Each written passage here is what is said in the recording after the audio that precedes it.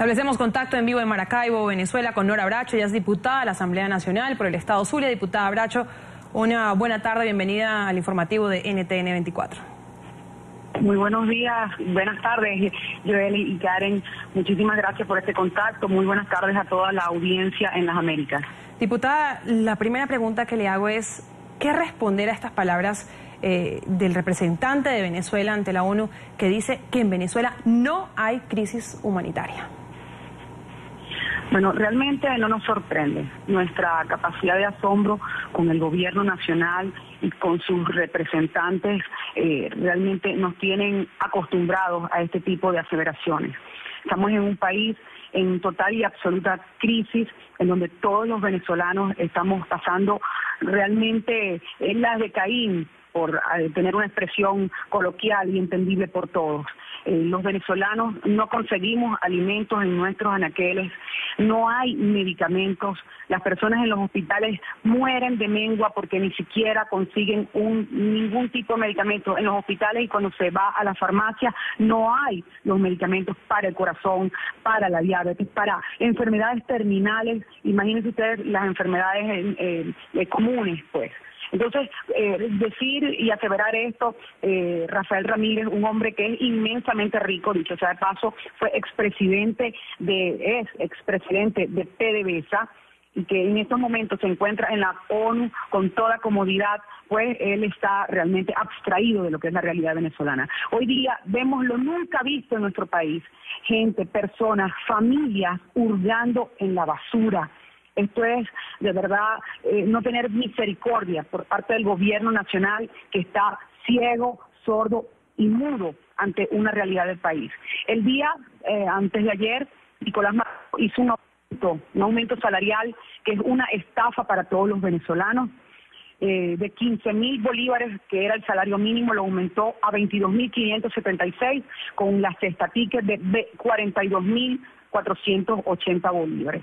Esto no tiene incidencia sobre las vacaciones, sobre los aguinaldos y mucho menos sobre las prestaciones de un empleado en Venezuela. Representa 65 mil bolívares que son al dólar CIMADI 101 dólares y 65 dólares a lo que es el dólar paralelo.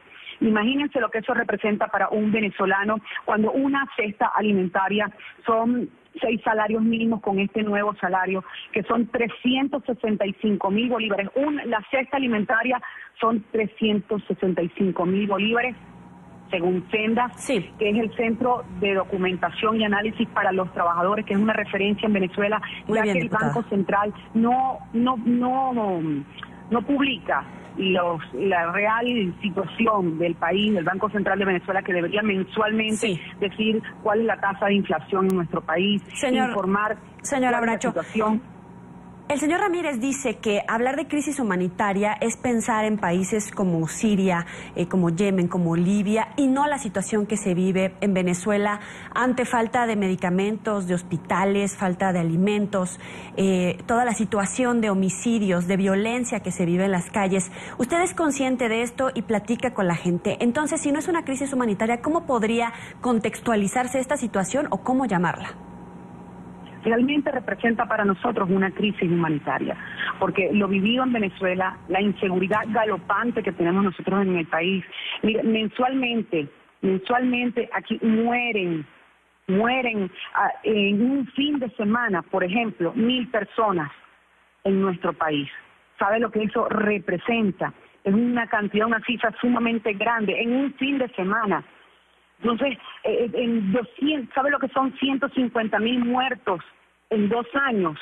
Eso representa para nosotros algo, una cifra gravísima y, realmente que representa una crisis humanitaria. Amén de que en un fin de semana mueren 19 neonatos en un hospital, en varios hospitales haciendo la suma de, de lo que es la situación sanitaria de los neonatos en nuestro país, porque no hay medicamentos, porque no hay insumos para atender a los neonatos Esto es gravísimo lo que nosotros estamos viviendo.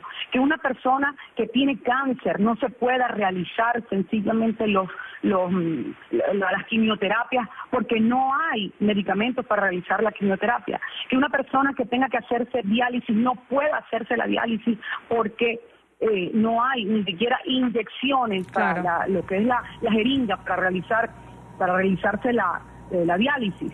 Es gravísimo lo que nosotros estamos viviendo la, situación y el gobierno constantemente niega esta situación, pretenden tapar el sol con un dedo de lo que estamos viviendo los venezolanos. Es muy fácil para el señor Ramírez y para el gobierno nacional encabezado por Nicolás Maduro seguir negando lo que todos los venezolanos vivimos, pero nos cachetea a diario la situación que estamos padeciendo. Y la vemos nosotros también a través eh, de los informes de nuestros periodistas en Caracas. Vamos a agradecer a Nora Abracho, diputada de la Asamblea Nacional de Venezuela por el Estado Zulia, por habernos acompañado aquí en el informativo de NTN 24. Una buena tarde para usted. Muchísimas gracias.